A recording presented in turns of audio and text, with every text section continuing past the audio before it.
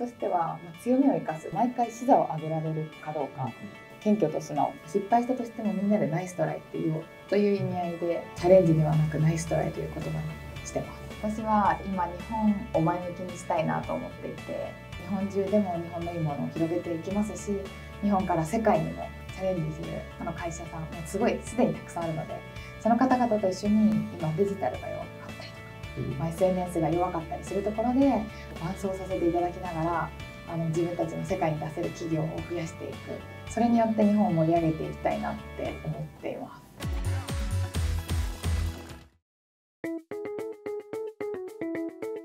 素質としては、まあ、強みを生かすっていうところが大事かなというふうに思っていてあの私たちはすごいあのみんなの強みを生かして日本は世界を前向きにっていうパーパスを掲げてるんですけど、まあ、そこにも強みっていう言葉を入れていて、まあ、今ってもう情報が溢れ返ってきていてあのどんな起業家が何をしてもこういろいろ情報があるのですごい勝ち方っていうのはまあ見れる、まあ、その中で自分は何が強みなのかとか何をこう発揮できるかっていうのを考えられることが大事だなと思ってて私もま強みっていうものを生かしてあのやっていますしメンバーにも強みを生かしてもらって会社がこう大きくなっていくようにあの考えているかなと思ってます。2つ目はそうですねなんか起業家でやっぱり大事だなと思うのはこう毎回視座を上げられるかどうか。学びながらこう主語を大きくしていけるかどうかかなというふうに思っていて私自身一番初めの起業のタイミングってこうあのフィントって名前なんですけど、ファイナンスにヒントでフィントっていうところで、こうまだまだ世の中を良くしたいくらいだったと思うんですけど、まあ、そこから本当に日本をどう良くしていくかっていうところをすごく当事者意識考えてあの日本を前向きにしていくっていうパーパスを掲げていたりとか、まあ、そのためにはやっぱり日本の力を使って世界を前向きにしていこうというふうにこう主語をどんどんどんどんこう上げていけるいけたことによってすごい成長できたなというふうに思っていて、まあ、その主語を大きくしていけたりとかこうしっかりあの視座を上げられるっていうことが大事かなというふうに思ってます。そうですね。私たちの行動指針の中でいくと謙虚と素直というものがありまして、まあ、それもすごい学ぶっていうところにもあると思うんですけどやっぱ素直さをすごく大事にしていて、まあ、素直だからこそどんどんどんどん学べる。なんかあの他の起業家だったりとか、まあ、すごい大先輩の起業家にあっても私たちよりもむしろすっごい会社を作っているのに、うん、なんか私たちから学ぼうとする方々がすごい多かったりするなと思っててやっぱそういう経営者がうまくいくなというふうに思ってます。なので自分自身も、まあ、常に学び続けてたりとか謙虚に思ってで素直に、まあ、フィードバックを受け止めてこう学んでいくそれはいろんな方々にお客様もそうだと思いますし従業員もそうだと思うんですけどあのそういう方々から学ぶ必要があるかなというふうに思ってます。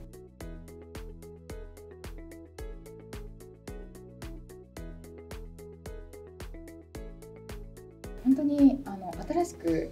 入ったメンバーの強みによって会社がもう傾いていくじゃないんですけど、うん、そっちにこう船が動いていくなというふうに思っていてなので全力で発揮していけばいいのかなというふうに思ってます。で強みだけを生かそうとするわけではなくってやっぱり会社を大きくしていく。会社をこう世の中のためにこう作っていくために多分パーパスを掲げられたりしてると思うのでその方向に全力でこう出していったら強みが出ちゃうみたいな,、なんかイメージかなと思ってます。でもそれをこう周りのメンバーだったりとか周りの人からこう言われることがによって気づいていってそこを磨いていけるといいんだろうなと思って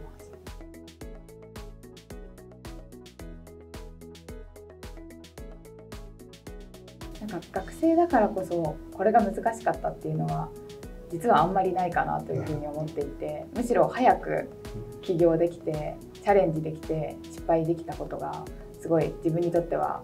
あの良かったなというふうに思ってます。でもちろんその就職した後にこう強みを見つけてあのまたそこで生かしてとかそっちチームがあってっていうのもあると思うんですけど学生企業は学生企業なりに逆に何もまっさらな状態で何もこうカルチャーがあったりとか前職のカルチャーを引きずりながらやることはなくこう一から作っていけるところがプラスだったかなと思ってます。まあ、なのでそうですねどっちにもこう難しさがあると思ってて逆に言ったら学生企業だからこそ何もなく考えられるっていうところを強みにしてできたらいいのかなと。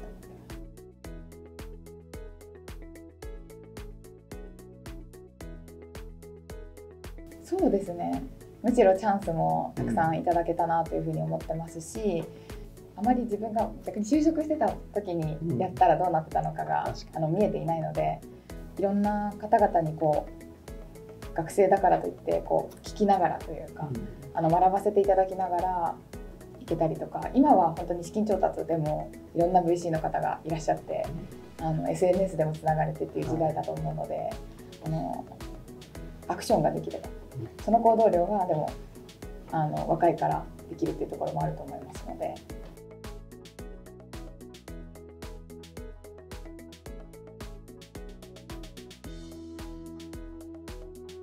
SNS マーケティングに関しては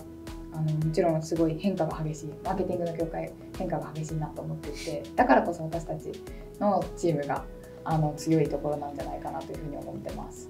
であの今やっぱ平均年齢26歳のあのメンバーが100人というところで本当にリアルにトレンドを知っている最先端のトレンドを知っているメンバーがいる。そのメンバーが新しく使い始めた SNS だったりとかこういうものが今伸びてる。こういうインフルエンサーのこう領域が話題になっているよねみたいなことをリアルに話しているのでそういう新しいメディアインスタグラムの、まあ、シュクレというメディアからスタートしてシュクレが伸びたことからスタートしてるんですけど、まあ、インスタグラム自体も新しいメディアだったと思っていて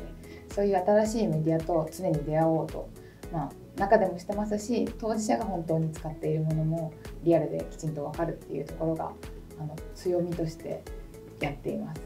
なのでその変化をこう気づけることがあの一番大事だと思っていますし気づけるような仕組みを作っていってやっぱり組織もずっと若くいたりとかあの若いチーム若い人たちを信じてあの作っていけるようにしたいなと思ってます。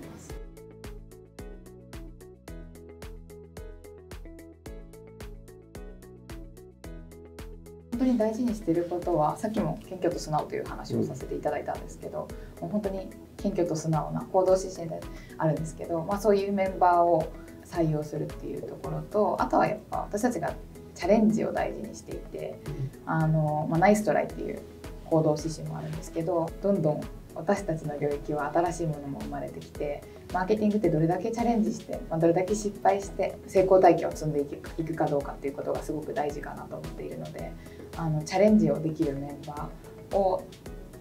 採用していくっていうことを大事にしています。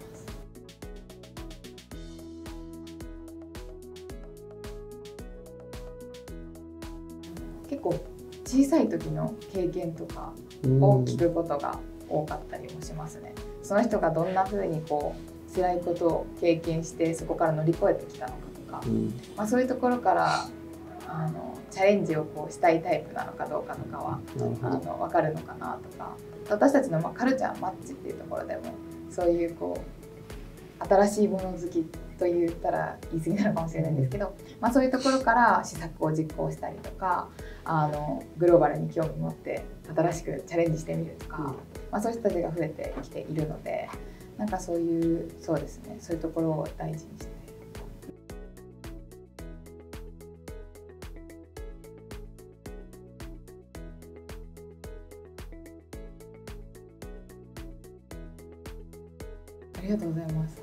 それがナイストライという言葉に、うん、あの私たちは現れてるかなと思っていて、あのトライすることが大事という、うん、あのメッセージでナイストライというふうに行動指針を言ってます。そこはチャレンジではなく、うん、やっぱりあの失敗の先に成功があるっていう話はあの、まあ、全社会が毎週あるんですけどそういうところでも私が話したりとかあと新入社員の入社式でも話したりとか、まあ、どれだけこう失敗経験できるかどうかでこう大きな成功が,、ま、ができるかっていうのが変わってくると思うのであの伝えていくことともう行動指針にもトライが大事。失敗したとしてもみんなでナイストライって言おうという意味合いであのチャレンジではなくナイストライという言葉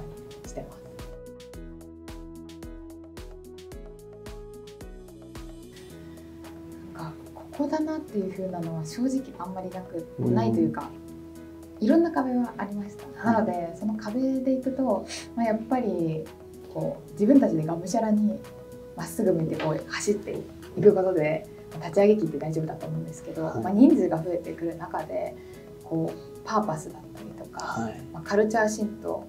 あのどんな人を採用したらいいのかもこうみんなが面接官になっていって分かんなくなっていったりとか、まあ、チームももう分かれていって施策も細かくなっていく中で一つ一つは話す一つ一つのコミュニケーション全部見れるわけではなくなっていく、ね。もちろん私もどんどん任せたいと思ってるので。でそうなった時に本当に絶対に大事にするものを決めようっていうので何度かこうパーパスを見直ししたりとか。うん。あの行動指針を変えてきたりしていてなんかそれをしっかりこうむしろみんながうんそういうものがないと自由にこうやれる環境を作っていたからこそあのいろんな捉え方があったんだなっていうところであの反省して変更してったっていうことはすごい大きかったな。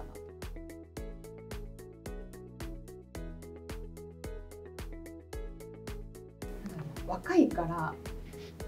すごい信じている若いからいいっていうなんかすごいそこがメインというよりかはあのやっぱり新しいものをこう受け入れてどんどんどんどん変化させていったりとかあのチャレンジするっていうところであの私たちは若い人たちもあのそういう素質があるから若い人も多いのかなと思っててあのやっぱり大事にしてることとしてはこうチャレンジができるナイストライができるとかあのそういうところを大事にしていたりとか、まあ、裁量権を渡す、まあ、任せていく。うん。あのすごく優秀なメンバーが多いので任せていくっていうところをやるとあの魅力的に思っていただけるあの若手の方々も多いのかなと思ってます。なので40代の方もいらっしゃってあのお互いリスペクトし合いながら働いていて私たちはし若い力も信じている。うん。であのもちろんスキルある方々もあのすごいなと思っていますしあの私たちの業界がそのスキルなんかすごく長期的にこう培ったスキルがすごく大事っていうわけではないのでその中であのチャレンジできたりとかこう新しい目線を持てたりとか素直さでどんどん吸収できるみたいなところがあの大事にしてるポイントだと思ってます。もう本当にあの私は今日本を前向きにしたいなと思っていてあの今日本あの私グローバルもチャレンジしてたりとかもともとシンガポールに留学してたりしたんですけどあの日本のプレゼンスが下がってきてることをすごく感じていて、まあ、そうなった中で多分昔はこう日本がの企業が日本商品が海外にたくさんあって、まあ、そういうところで新日の方々も多くて日本に期待していただいたりしてるところもあったところが、まあ、どんどんどんどん期待値が下がっていてそれをこう感じている若者だったりとかが増えてきてしまっている、まあ、それにすごい危機感を感じています。なんかでも私たちにはすごいパワーがあるのになんかそこに対してみんながこう迎えていなかったりとかなんかそこをあの全力で走っていけてる人が、まあ、全力で走っていけてないなというふうに思っていて私たちはその代表としてあの日本中でも日本のいいものを広げていきますし日本から世界にもこうチャレンジするあの会社さんもすごいすでにたくさんあるのでその方々と一緒に今デジタルが弱かったりとかまあ、SNS が弱かったりするところであの一緒にこう伴走させていただきながらあの自分たちの世界に出せる企業を増やしていく。それによって日本を盛り上げていきたいなって思っています。やっぱパーパスを叶えるためにこれからこう走っていきたいなと思っててうん。そこの部分に対してあのなんだろうな。まあ今去年1年前にベトナムに進出し始めましてはい。そこから今まあベトナムだけじゃなくて新しい国もチャレンジしていこうとしていて、まあ、今試行錯誤しながら、うんまあ、そっちにも10人ぐらいあの若手のパワーのあるうんグローバルでも若くてパワーのあるメンバーを採用して若くてというか本当に優秀な人たちを採用しながら一緒にチームでやっていてそれがワクワクしてます。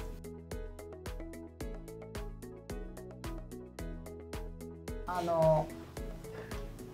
SNS マーケティングだったりとかは SNS マーケティングはもうすでに、まあ、あっちでも SNS すごい皆さん使われていて、やっぱりもう若者の方が多い。人口ピラミッドも若者の方が多かったりするので、まあ、当たり前に SNS が使われている中でこうデジタル化も進んでいたり EC 化率も高かったりしている。んですけどあのやっぱりかつての日本はこう販路を拡大することがすごく得意でうん。でなんかそこに対して私たちがデジタルマーケティングっていうところでサポートできるんじゃないかなというふうに思っています。でそこは結構アルゴリズムも変わらないですし、うん、あのインスタグラムだったり TikTok のあのアルゴリズムが変わらなかったりとかこうやっぱり人が欲しがっているものだったりどういうものにこうあの発信が見られるかみたいなところのこうプランニングみたいなところはやっぱりあの変わらない日本でもこう培ってきてるものが活かせるなというふうに思っていてあのもちろん現地のメンバーのトレンド力だったりとか、うん、今流行ってるものを生かすっていうところもまたピントの中でのこう今までのノウハウだと思いますのでそれをこうベトナムでも、まあ、他の東南アジアの国でも生かしながらあのチームを作っていくっていうことをややっていくのがあの私たちの仮説になるかなと